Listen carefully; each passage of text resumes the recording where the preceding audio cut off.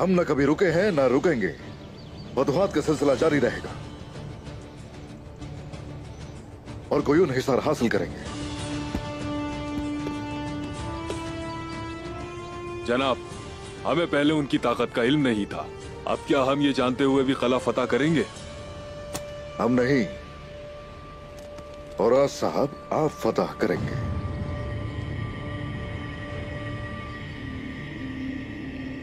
दिमीर खान और ओसमिन साहब के हमरा।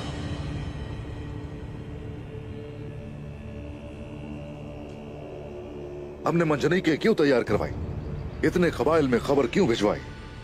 अब कबाइल से आने वाले सिपाहियों के साथ मिलकर कोई उन हिसार हासिल करेंगे। जो, जो हुक्म जनाब। क्या होगा उस दौरान अगर इन पर हमला हो गया? ओह हम मगरिब से आने वाले लश्कर पर हमला करेंगे।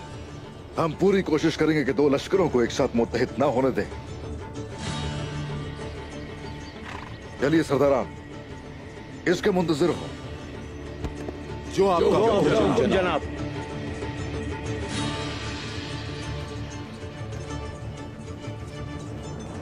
जनाब।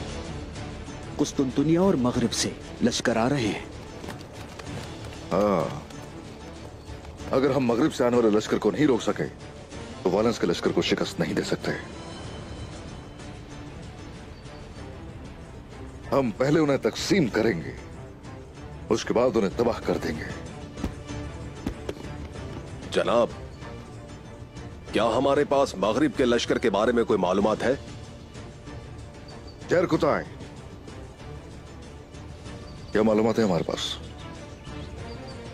हम उनकी सांसों के बारे में भी जानते हैं जनाब। अच्छा है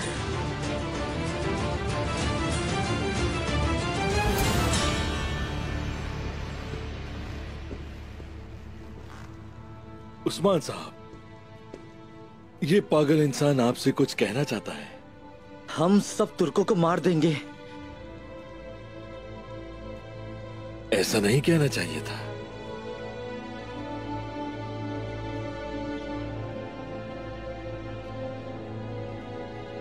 अभी तुम्हें किसी एक चीज़ को मुंतखब करना है।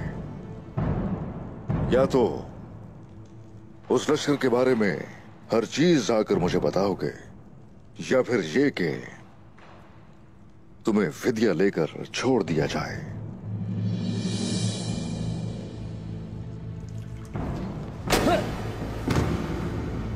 नहीं उठो उठो उठो उठो उठो उठो चलो खड़े हो अभी तो खेल की शुरुआत हुई है खड़े हो जाओ यहाँ कुछ कहोगे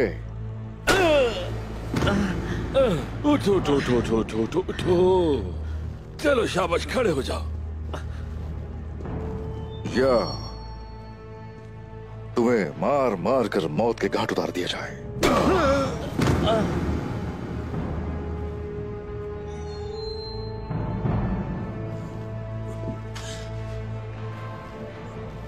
रुक जाए मैं बताता हूँ।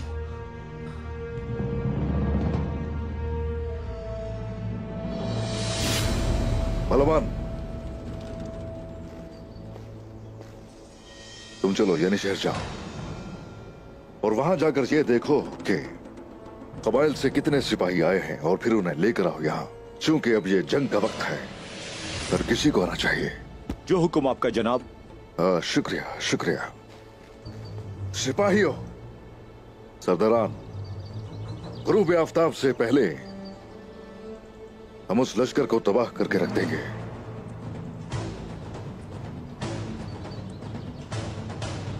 अब मेरी बात जरा गौर से सुनिए।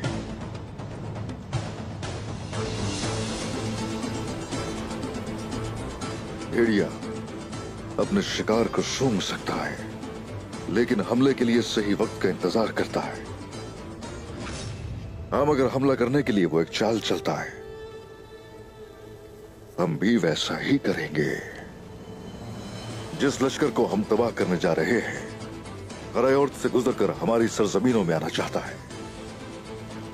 अब उन्हें गुजरने नहीं देंगे। वो लश्कर कैगार के इलाके के करीब आराम कर रहा होगा और हमारा काम वहाँ से शुरू होगा। पहले हम उनकी ताकत छीन लेंगे। उसके बाद उनकी जाने लेंगे।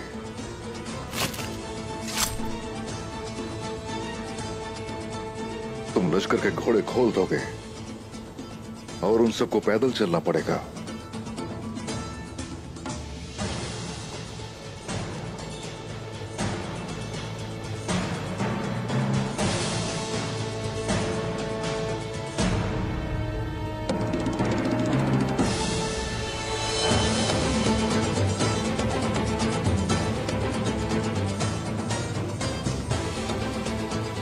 ताकत और रफ्तार कम ना हो, इसलिए वो तलवारें और ढाले साथ लेकर जाएँगे।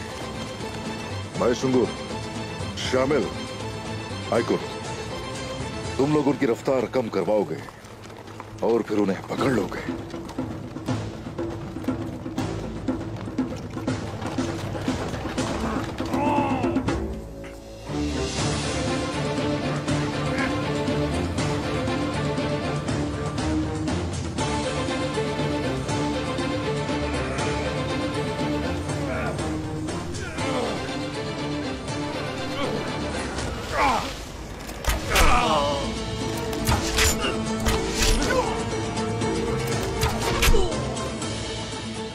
हम उनकी ढालें हासिल कर लेंगे, उनका दिफा खत्म हो जाएगा।